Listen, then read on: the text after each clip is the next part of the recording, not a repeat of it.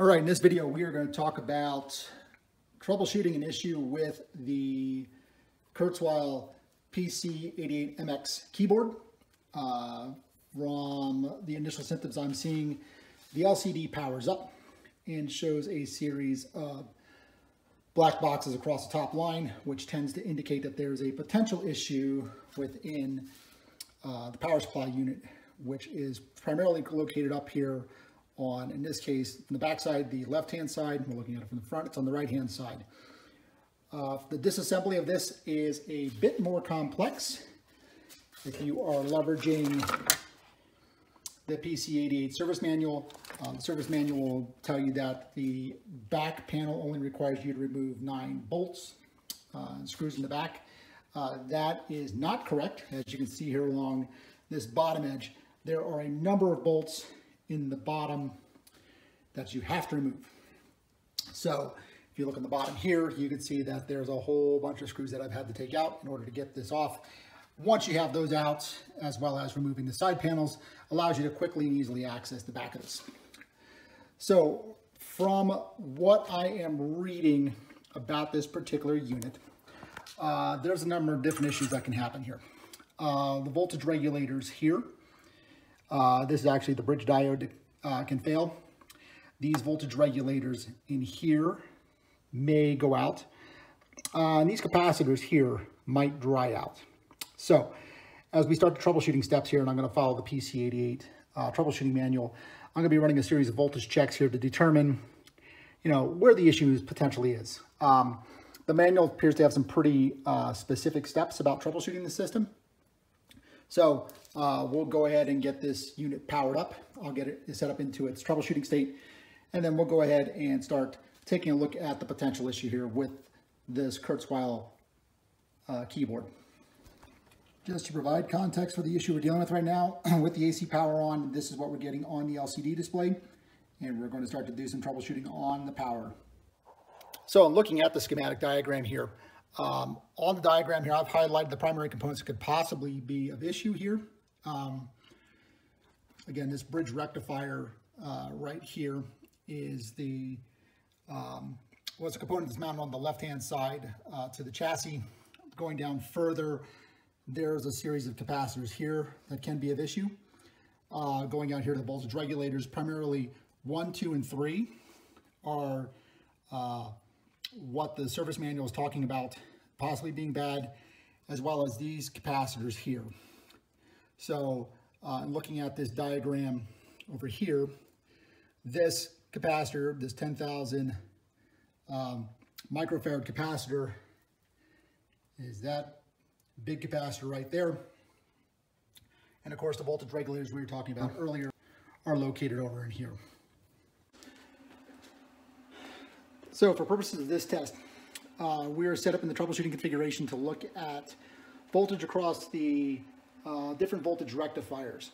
Um, I have already done a check of the power supply and it's measuring accordingly, uh, which is 10 volts um, when connected to the third pin on the on the bridge rectifier down here in the lower right hand corner and uh, the center pin of the AC jack. So I'm getting 10 volts when its switch is not on, and I'm getting zero volts when it's on.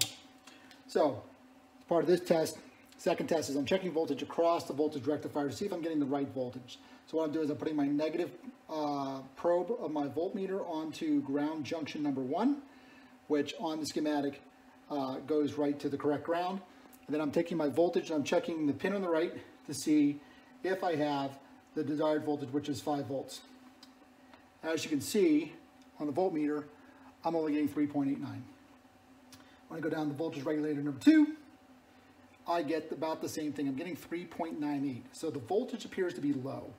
Uh, I'm not going to go to voltage rectifier number 3, which is in the center of the board, because I'd have to take the board apart to do that. Uh, and I'm going to go down to the next step, which is uh, checking to see if the voltage is low. Um, I should be reading 10 volts on the pin on the left. When I do the check, I'm only getting 8.57 on voltage regulator number one. Voltage regulator number two, I'm getting 8.57 again.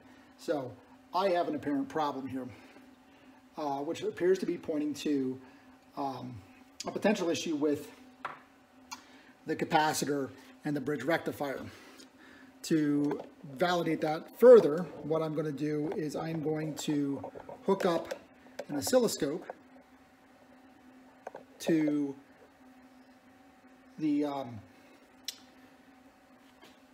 to the same pins and see if I'm getting any AC voltage. So What I'm doing now is I'm going to, I've got the power on.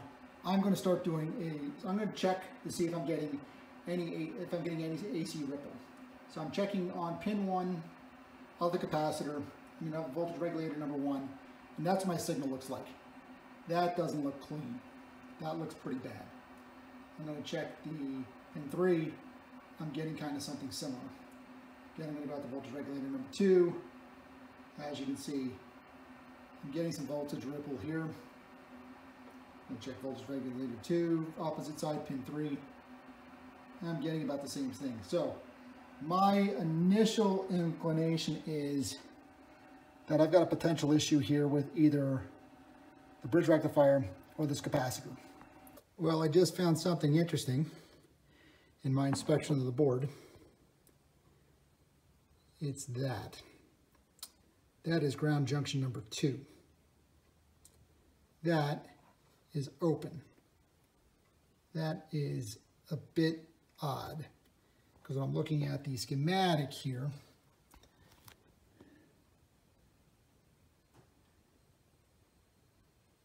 There should be a number of grounds here. and The fact that that's open gives me a little bit of concern. So I'm going to go ahead and look at repairing that and see if that's having an adverse effect here on the board. All right, so for the record, the voltage is actually increased a slight bit with the ground being intact. Um, I'm now measuring about 4.4 volts on the left. I mean, on the right pin, on the left pin, I'm measuring about 9. Um, I am still getting the same symptom though when I turn the power, so when I turn the screen back on and I have junction 802 hooked up, oh, sorry, 302 hooked up, as you can see, I'm still getting the black bar. So um, I will try a reset and see if that goes away. So as I started to dig into this, if you remember the earlier part of the video, for some reason, whoever had this before decided to run a wire from here to the switch and then from here to the terminal on the bridge rectifier, which I think they were believing that the power was not connected for some reason.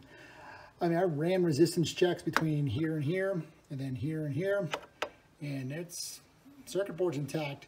Looks like the bridge rectifier is intact because I ran the, a diode check on it. This is the interesting part. If I can capture this, this feels like the capacitor is moving on the board. So I'm going to pop this thing apart and see if I can figure out why the capacitor feels like it's sitting on the board. Well, lo and behold, look at that. That is not making contact with the board. So, looks like a pretty easy fix. I'm going to pop the soldering iron back on here, see if I can get that to reset. All right, so what have I done? I have resoldered the connection to the capacitor. I have re-added uh, ground jumper 2, which uh, I've seen cut in some diagrams and pictures. In others, I've seen it intact, so I've replaced it. I've cleaned this up. And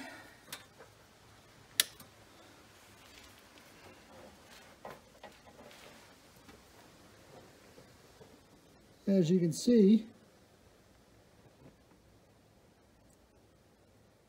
we're up and operational. So, net net is a loose capacitor here on, which is a capacitor number, I think this is C28, ultimately caused a downstream effect that was not getting the proper voltage to these voltage regulators. And with a simple fix, I've been able to get this unit back up and running. So, hope you've enjoyed this tutorial. If you have any questions, by all means, please feel free to leave comments and ask questions. Thank you.